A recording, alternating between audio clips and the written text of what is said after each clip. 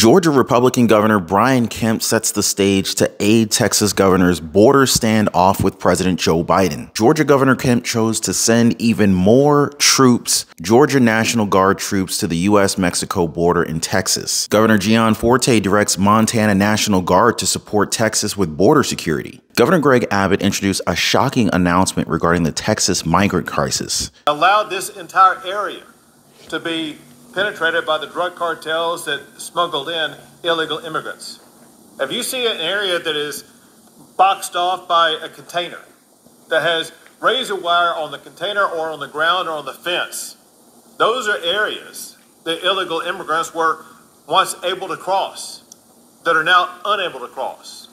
And the reason why we've been able to achieve that level of decrease in illegal, illegal crossings is only because of great teamwork and agencies across the state of Texas. Larry Johnson and Douglas Macgregor says that the United States military must deploy to Texas border immediately. Many governors around the country are now standing with Texas. In fact, almost half the governors of the United States showed up to do so. And in doing that, they're now standing up against the federal government under the Biden administration. But these turn of events is not really surprising, especially as the border crisis continues to become worse. Texas Governor Greg Abbott, he recently spoke out about what's going on over there. And while states like California, New Jersey, Florida, Arizona, and many others are also affected by this crisis, it's very clear that Texas is the main door to the United States, a door that many people now want to be shut. Now, before I go any further, I'd just like to thank you guys for always tuning in. And all I ask at this point is that you take one second and click the like button for the video. It really means a lot to me. And I always appreciate you guys sharing my videos. It helps the channel out a ton.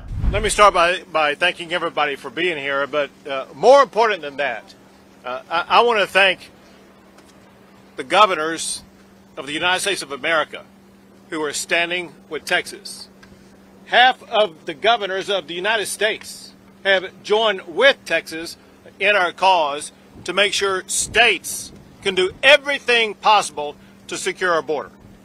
Half of the governors that uh, have joined the cause to support Texas are joining us at this event today.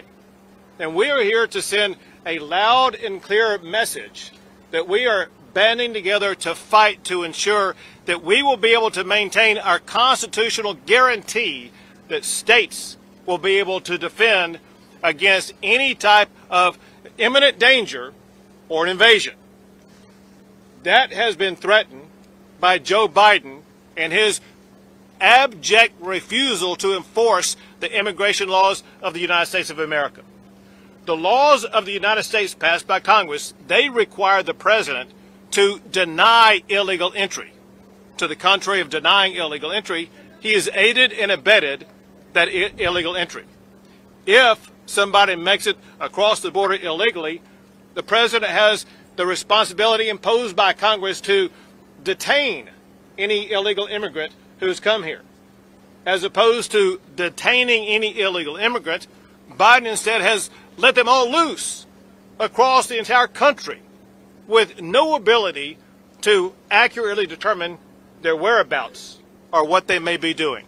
Now, it's very plain to see that there is a line separating these governors from the federal government. Their actions speak very loudly as if to say that they're seeing how this is affecting Texas and the people that reside there. It's also showing that these governors see eye to eye with Governor Abbott over President Joe Biden. This is echoing the message that no state should endure such a catastrophe. To send a message, 13 governors have made the trip to Texas to stand with Abbott. Now, this is a very direct message, meaning that they're willing to physically get up and go to Texas to show their support. They went as far to support Operation Lone Star, an operation that has led to over 498,000 300 illegal immigration apprehensions, and more than 39,200 criminal arrests. Now, you might be wondering why they go this far to support Abbott, right? Because if you think about it, well, they could just kind of stay at home and kind of let this thing play out in Texas. But that right there would be the problem. This isn't sorting itself out in Texas. Most of these illegal migrants are coming through Texas, but they're not planning on hanging around. And this has a lot to do with the minimum wage over there. And this is part of the reason why other governors from other states realize that they have to do something because the problem will ultimately end up in their back backyard. So right now, Texas has a minimum wage of $7.25. This is the federal minimum wage, meaning that this is probably what's going to be offered if these people, you know, try to apply for jobs there. But they're not here to make minimum wage. We have to expect that they're looking for something much bigger than that since they're probably going to be sending money back home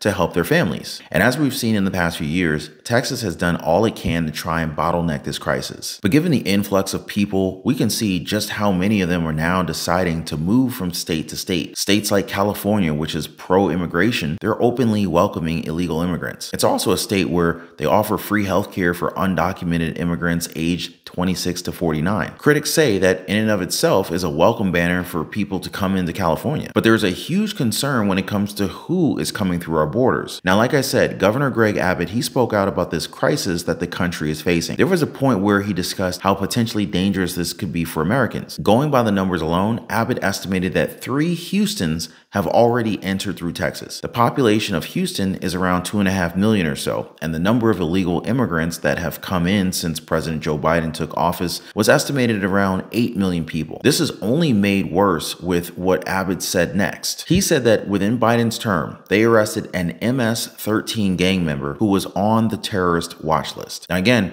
remember that millions of people have gone through the borders. Abbott reminded everyone that there are people entering the United States that the American people and even our own president are not aware of. He added that multiple illegal immigrants who just happen to be on the terrorist watch list have crossed the border and have never been seen after. And so this raises a huge concern for states across the nation as we're unsure as to where these people are now. The risk that they pose to the American people is incredibly high since not everyone is informed of these dangerous people entering our country. There was also an instance where a person who served for Iran's military was apprehended and arrested as they tried to cross the border illegally. The question from Abbott was very clear. Why are they here and why are they trying to sneak in instead of going through the legal pathways? Abbott also had a fiery reaction to what President Biden has been doing when it comes to our borders. He said that the president has refused to do his duties to try and protect the American people, that his blatant refusal to enforce the immigration laws of the United States is nothing short of disappointing. I think that's putting it lightly. The governor pinned the blame on Biden, saying that instead of detaining these illegal immigrants, the president has instead let them loose across the entire country. To make matters worse, Abbott claimed that local government officials are at a disadvantage as they're ill equipped to determine the whereabouts of these people. Now, the president has also said on his part that the bipartisan deal for the borders is targeting at helping Texas and other states. President Biden is calling it his toughest and most fairest security deal in decades. It's also going to provide billions of dollars in emergency funds to immigration and customs enforcement, providing them with the increased detention capacity. The deal would also require asylum seekers to show greater proof that they need to seek refuge in the United States. Also going to force the Biden administration to use the money already laid out for the border barriers and have a border wall, much like what the Trump administration had already planned. Now, this isn't to say that the plan is anywhere near perfect, but many are actually saying that this is the lesser evil compared to the influx of thousands of people day by day through our southern borders. The plan, however, isn't sitting well with some progressives, with others calling it very similar to what Trump would do if he were in office. Now, with all that said, Texas did confirm that the number of people that are trying to enter through their gates is now dwindling. Now, while some might think that this is a good thing, this is actually not such a good thing. The strict policies that Texas continues to implement is causing a change of plans. And so in this case, it's merely a change of route. Abbott confirmed that the illegal immigrants are now moving away from Texas